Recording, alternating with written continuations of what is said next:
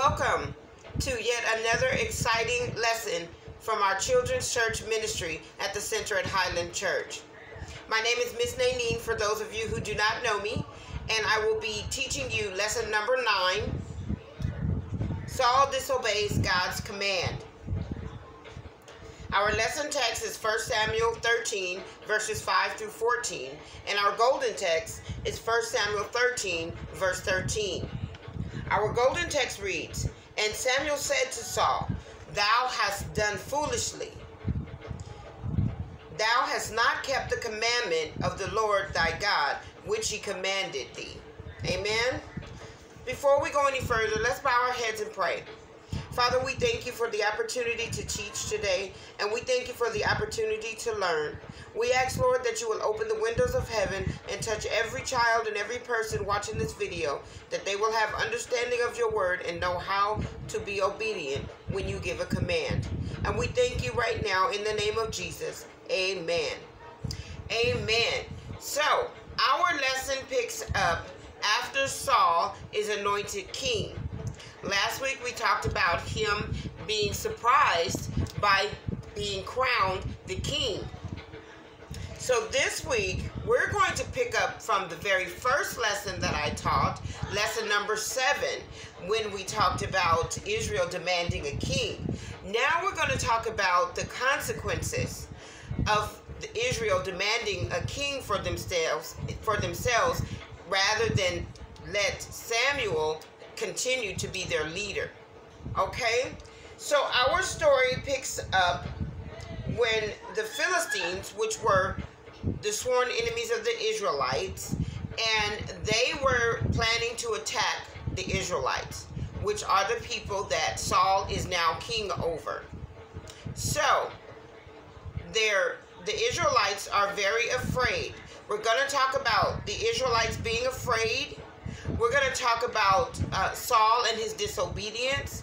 And then we're going to talk about Samuel being the one who has to break some bad news to Saul. Okay?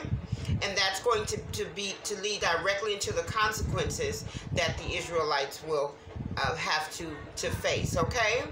All right. So the Philistines are coming to attack the Israelites. So the Israelites are afraid. Why are they afraid? Because there's so many of the Philistines.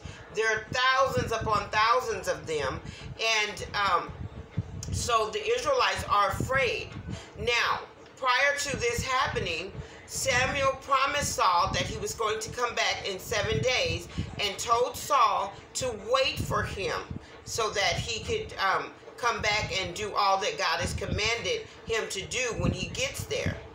Well, because the Israelites were so afraid, they were running and trembling and they were hiding from the Philistines because they feared that they would be taken over and killed.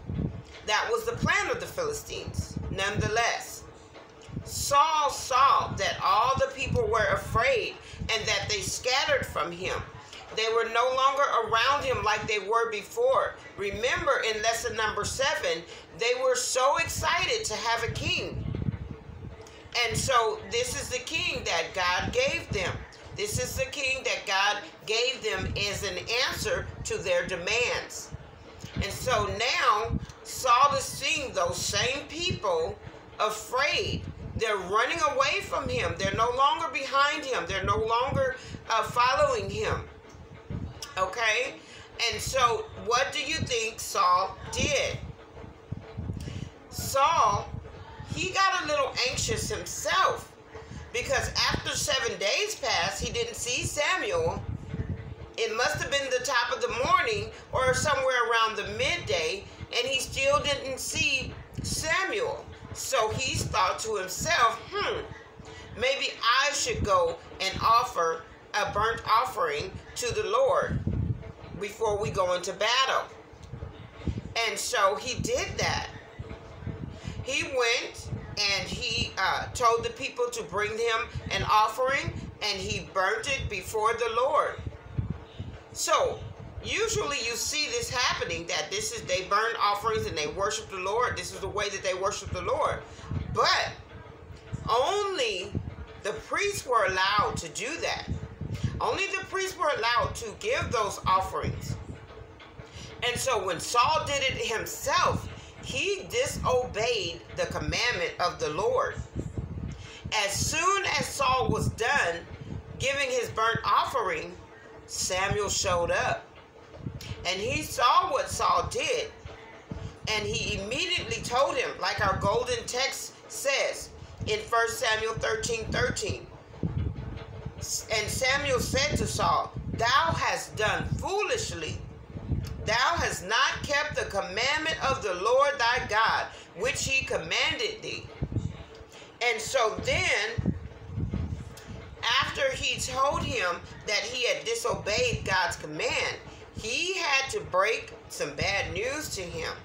And I'm going to read a part of the uh, lesson text to show you uh, the news that he had to tell Saul. Okay? So in verse 14 it says, But now thy kingdom shall not continue.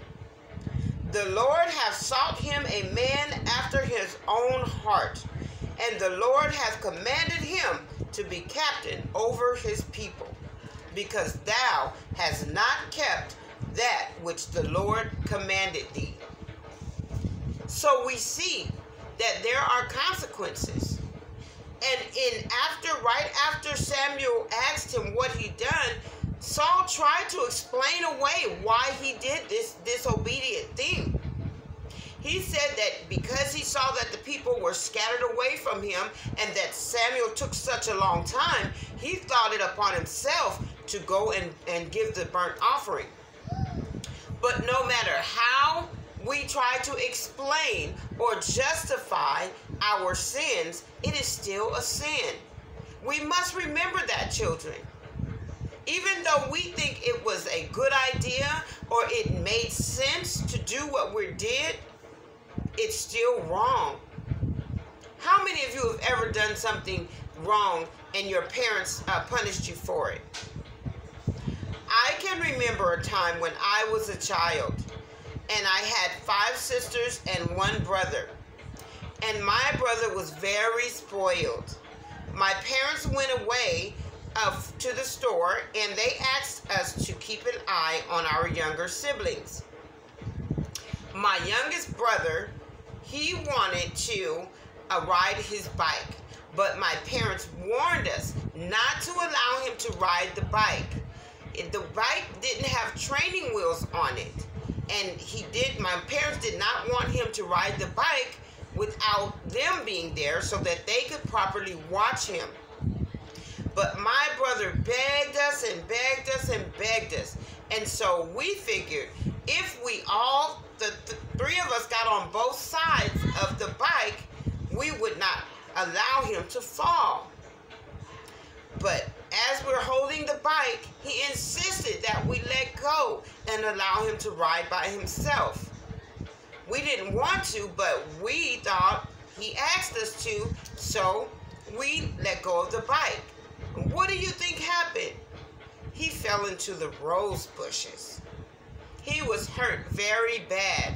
When my parents returned, even though we explained away why we let him go, why we let him on the bike in the first place, it didn't justify that we had disobeyed our parents' rules.